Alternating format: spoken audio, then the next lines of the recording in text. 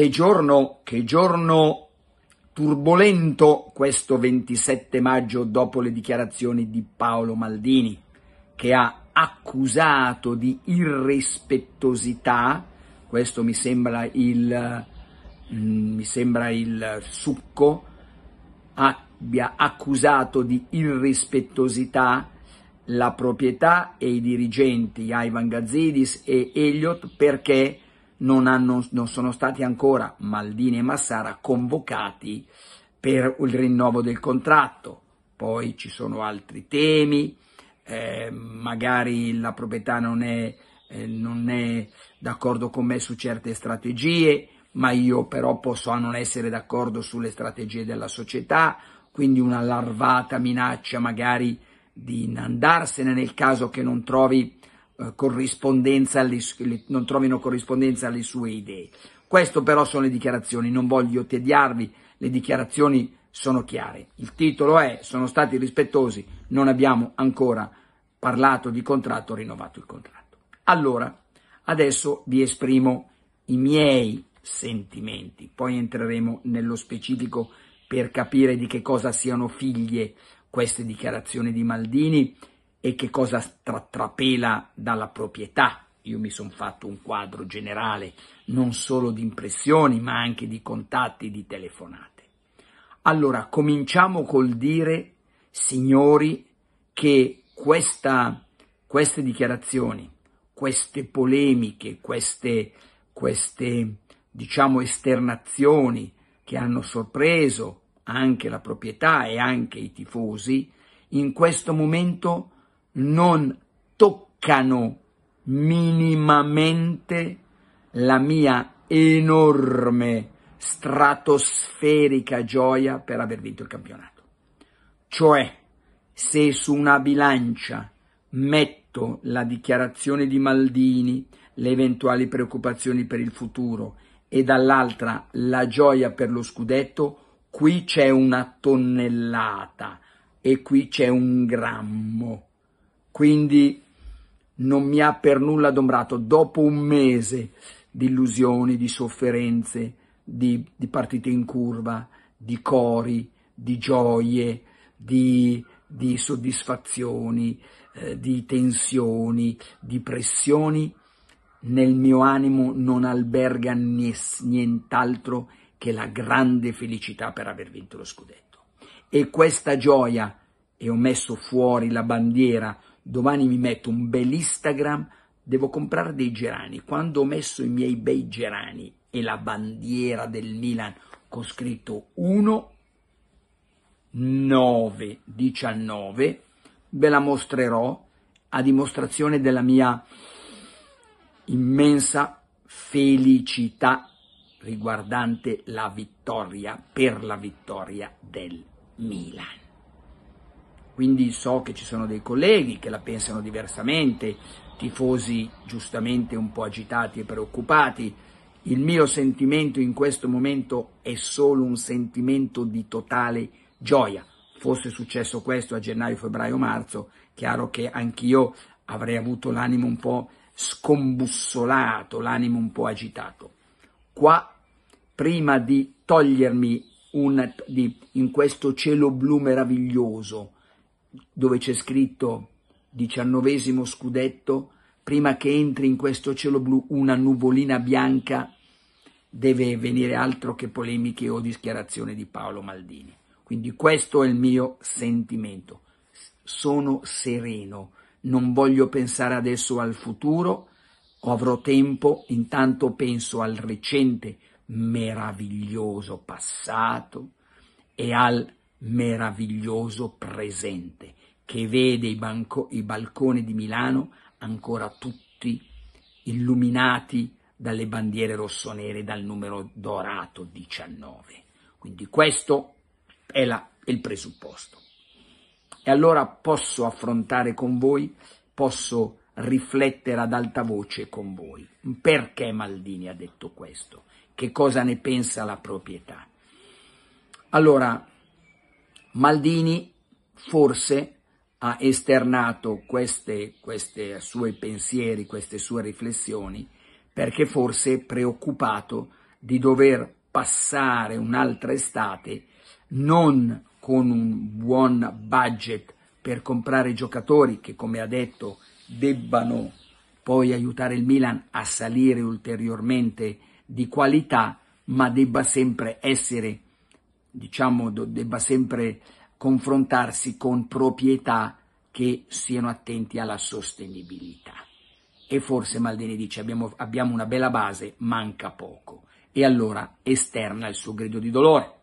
Qualcuno dice perché l'ha voluto esternare in maniera pubblica, ma non vede tutti i giorni Gazzidis, ma non c'erano Paul e Gordon Singer per esprimere questi pensieri? Io, perché lui abbia deciso questo, sinceramente non lo so. Indubbiamente è abbastanza simile, qualcuno ha detto, all'esternazione quando, dovesse, quando doveva arrivare Ragnick di Boban. Un'esternazione che ha creato sconquassi, ma là non c'era un campionato vinto. Quindi è un Maldini che ovviamente ama il Milan, ma i tifosi dicono perché non, non, non è rimasto dentro nel vostro alveo, perché hai voluto esternare così fortemente la cosa. Io penso che sia proprio, proprio per cercare di dare una, un, soprattutto un messaggio a chi sta per arrivare. E indubbiamente Jerry Cardinale si trova il rinnovo di Leao e si trova Maldini in questa situazione e quindi anche adesso rinnovare ci sarebbe anche l'imbarazzo da parte dei proprietari perché sembra che rinnovi, rinnova, rinnovino Maldini dietro la spinta di Maldini. Da quello che abbiamo sempre saputo, da quello che abbiamo sempre letto, Maldini non è stato e Massara e Moncada, non sono stati mai in discussione. In discussione. A sentire altre campane mi dicono, attenzione, ma noi abbiamo già parlato di questo, se, leggendo Maldini sembra di no, quindi io non lo so, eh, leggendo, eh, leggendo, A, sentendo B, le, le, non è che ci sia una leggera comunanza, son, sembrano proprio due poli opposti, quindi io credo che per la proprietà sia un po' incomprensibile. Maldini invece ha ritenuto opportuno esternare così duramente il suo pensiero e allora Speriamo che tutto questo, come già nel passato, perché signori, il Milan è andato avanti in maniera coesa, ma delle, non dico contrasti, diciamo punti di, punti di vista diversi, ce ne sono stati tanti, ricordo il discorso su Tonali, con la proprietà che voleva, lo riteneva troppo elevato il costo, ci sono state discussioni. E quindi i punti di vista ci sono stati, che sono sempre stati superati per il bene del Milan. Non ho in questo momento pensieri che possano essere, che non possa succedere così anche in questa occasione. Una sferzata di Maldini, bisogna vedere la proprietà come la prende, ma indubbiamente Maldini deve essere, deve rappresentare la continuità, sempre che Maldini, non lo escludo a priori, poi però si adombri in maniera così particolare, così forte, che saluti la compagnia e attenzione, Attenzione perché Paolo Maldini, lo dicevo ieri, nonostante degli inviti nelle proprietà passate, non ha mai voluto entrare perché non vedeva il progetto. Se lui non vede il progetto di rimanere non rimane. Chiaro che porterebbe ulteriore turbolenza perché il post Maldini, chiunque arrivasse, sarebbe una pressione e una responsabilità enorme che poi possono essere coperte dai risultati, ma possono poi però portare a, dei problemi ulteriori. Su una cosa sono invece totalmente d'accordo con Paolo Maldini. Lì si tratta di esternazioni e di messaggi, qua si tratta di una frase e io sono totalmente d'accordo con Paolo Maldini. Il prossimo San Siro, il prossimo stadio non deve essere la bombonierina, la bomboniera da 50.000 spettatori. 45, 45.000 è l'Allianz Riviera di, di, di, Nizza, di, Nizza, visto anche il bacino. Signori, ha ragione Paolo, non dico di costruire un monumento che poi non rimane mai vuoto perché il pubblico viene, ma anche per permettere poi di avere dei prezzi sempre importanti nei confronti dei tifosi, eccetera, lo stadio deve essere uno stadio imponente. Lì a me io non sono mai entrato or- nell'ordine di idee, ma se doveste chiedermi, ma tu vorresti uno stadio da 50-55 o da 75-80? E io direi uno stadio da 75-80, come lo stadio del Bayern Monaco, sempre tutto bello raccolto, però uno stadio imponente, uno stadio importante. Milano non può 55.000, la bombonierina non mi interessa. Chiaro che mi dite, beh vabbè, allora però non c'è lo spazio, si trova da un'altra parte. Però su questo punto, su questo punto sono totalmente d'accordo con Paolo Maldini. Lo stadio deve essere uno stadio degno di Milano, degno di tifosi che occupano 70.000, ma parlo anche dell'Inter che ha avuto oltre un milione come il Milan di spettatori. Se lo stadio deve essere in comune, deve essere uno stadio importante, se deve essere solo del Milan, deve essere uno stadio importante. Ma voi pensate, con il Milan in Champions League, coerentemente si cercherà di mettere in campo un Milan dai grandi campioni, dai grandi risultati.